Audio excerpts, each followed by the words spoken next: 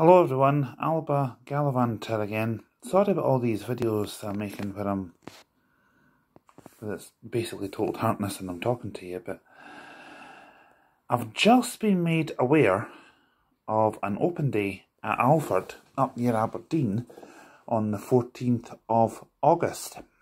Now, I just wanted to, to clarify it is my intention to go to this event However, it will depend on whether I can get accommodation or not because I live about 130 miles away and it's a bit of a trek to get to for 11am, especially on a Sunday. You know, it's now impossible for me to get to Alford on a Sunday from where I live for 11am. So I'm looking at going up on the Saturday, stay overnight Saturday night, maybe come home late Sunday night, see how things go. Might even stay Sunday night, come back on the Monday. Just make a weekend of it. Why not? Maybe even go up Friday. But I know I finish, I know I, I work at Cumbernauld FM on a Friday. I could go up after work. Make a weekend of it. Anyway, that's something I'll think about over the next couple of days.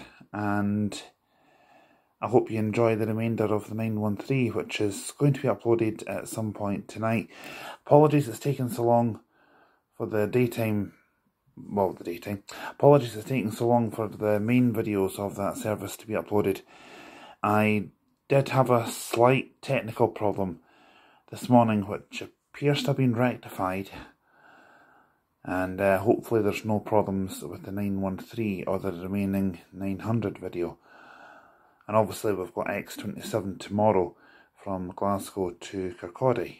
That, well, with that being said, that could be subject to change. Hopefully not.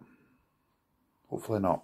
And as TRNSMT is running on in Glasgow Friday, Saturday, Sunday, I'm going to have to think about my travel plans to and from work. I can see a first bus X36 having been having to be used. Anyhow, I do have a few trips planned for next week. I will probably make an announcement video over the next few days to confirm what will happen when. So I hope you enjoy the remaining videos that I've got for you for today and tomorrow, and I'll speak to you in a few days' time. It will probably be some point over the weekend when I announce what my my plans will be for next week.